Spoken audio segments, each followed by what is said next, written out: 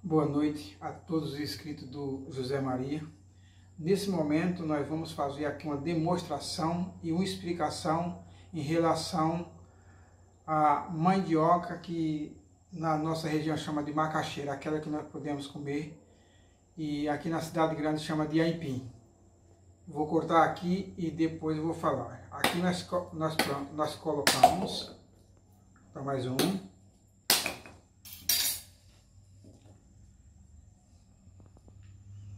Aqui estão os olhinhos, tá vendo aí? Os olhinhos. Cada um lugar desse aqui é um olhinho.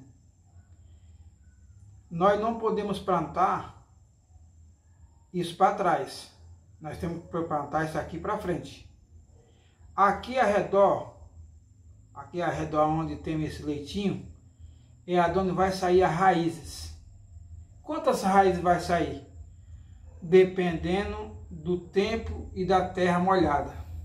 Aí eu vou mostrar para vocês como que depois fica. Vamos lá, o procedimento. Está aqui o rebolo, dá-se o nome do rebolo da maniva, da demonstração da mandioca, ou seja, do aipim. Quando nós plantamos, sai aqui vários olhos e cresce. E aqui nesse, nessa parte branca aqui, que é a casca e anticasca, vai sair várias raízes. E essas raízes, ela vai se tornar isso aqui. A demonstração é essa. E muito importante isso para quem não sabe. Eu planto isso aqui, nasce as raízes, ela cresce e vai formar isso aqui, aí. Tá vendo? Uma, duas, três, quatro, cinco, seis, sete, oito. Chega até tiver 15 raízes. E essas raízes elas vão engrossar e vão ficar nesse estilo aqui, ó. Tá vendo? Nesse estilo aqui.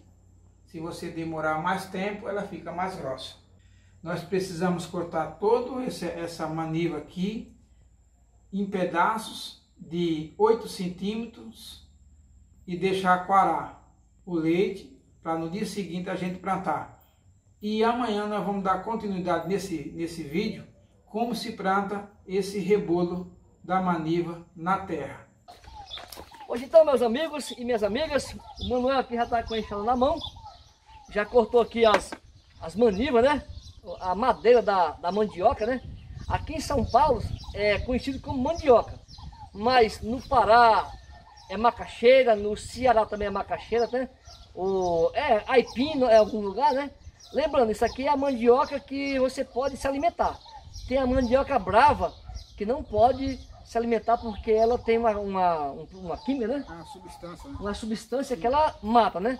Então essa aqui é a mandioca que a gente chama aqui em São Paulo, que é a macaxeira ou aipim de outros estados, tá bom? Que é comestível, né? Comestível. Então vamos lá plantar lá que ele vai...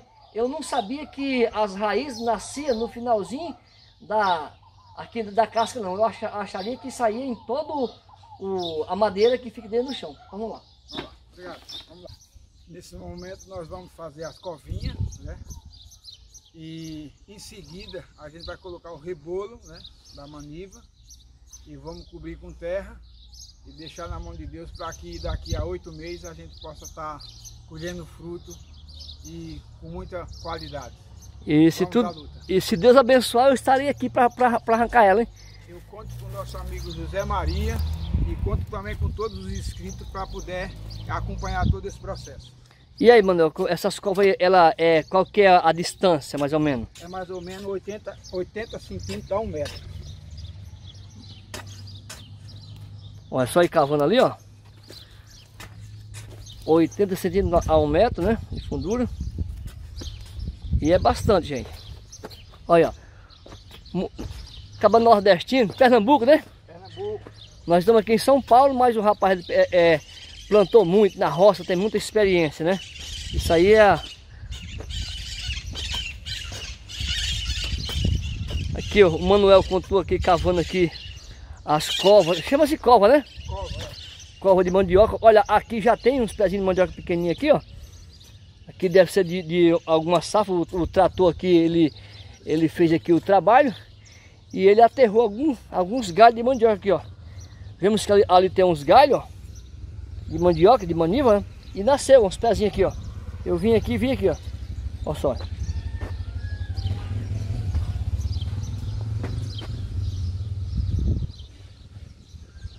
Essa outra carreira na mesma posição. É, é, é mais ou menos 80 centímetros de uma copa para outra, né? É de 80 centímetros dá um metro. É, qual que é a fundura, Manuel? Mais, mais ou menos? É mais ou menos 10 centímetros. 10 centímetros? É, porque ela não pode ficar muito funda. Senão não nasce, né? Não, nascer nasce, mas a mandioca vai ficar muito funda.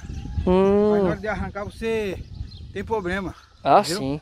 A mandioca tem que ficar rasa. Ah, sim. Entendeu? Beleza. Vamos lá. Vamos lá. Já cansou, Manuel? Já cansei, o coração já está acelerado. muito tempo sem trabalhar né, na roça, né? É, exatamente. É, velho. A gente trabalha, trabalha muito quando é novo, mas quando fica um pouco, já passa dos, dos 50, aí o negócio já pesa, né? A roça é um pouco meio pesada aí, ó. Então aqui, ó, a terra tá fofa, foi arada, né, no, no, no trator, né? Já tá uma beleza. Maravilha. Meu pai, quando, quando plantava roça, mano, ele, pla- ele plantava milho, feijão e plantava mandioca. E a mandioca fi- fi- ficava dentro do mato lá. Quando estava pronta, ele, ele ia só lá roçando, e- roçando e arrancando a mandioca. No, no meio do mato. Ele não limpava? Não. Ah, Lá não dava para limpar não, porque o- depois que ela crescia, a, mandi- a mandioca crescia uns dois metros de tamanho e ela ia, o, o mato era pequeno, né? No mato não era tão grande, mas o mato no tronco, é- ele, ele não limpava não, não, não dava tempo não. Era muita mandioca.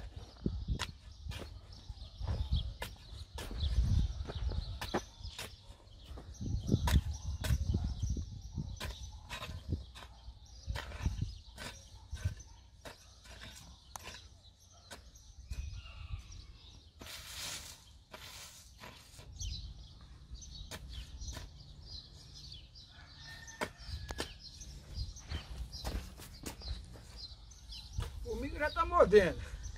É, geralmente quem faz esse tipo de trabalho, gente, tem que ser com, com o pé no chão mesmo, né, Manuel? É para você sentir a, a terra, porque nós, nós precisamos de uma proteína que só a terra tem. Vamos cavar mais uma cova, mais uma carreira.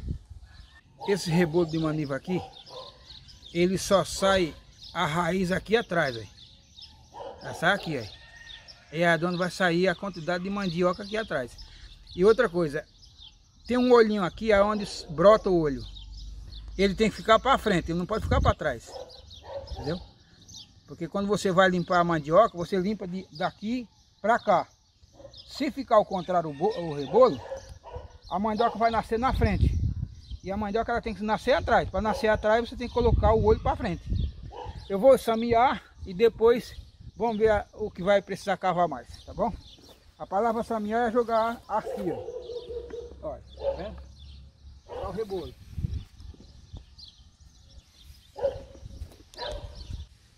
Aqui está o olho. Ele tem que ficar nessa posição aqui. Aí a mandioca vai sair aqui atrás. A quantidade de mandioca aqui, né? Aqui atrás. Se você colocar o olho contrário, a mandioca vai sair aqui na frente.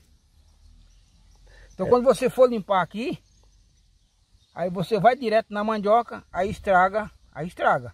Vou plantar um já para olha aqui, tá vendo aqui? Ficar um pouco mais descido para dentro a ponta, tá vendo aí? Você vai fazer isso aí. Pronto.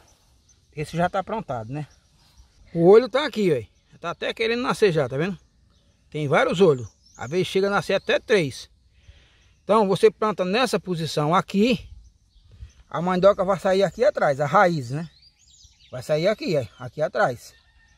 Se você colocar o contrário, assim, ó, o olho tá pra cá, ó. Tá vendo? A mandioca vai sair aqui. Aí quando você for limpar para chegar à terra, você vai cortar a mandioca.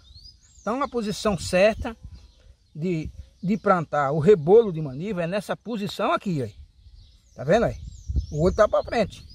Aí você chega aqui vai isso aí. E a mandioca vai sair aqui, ó. Tá vendo? Aqui, ó. A mandioca vai sair nessa posição, tá bom? Vamos lá.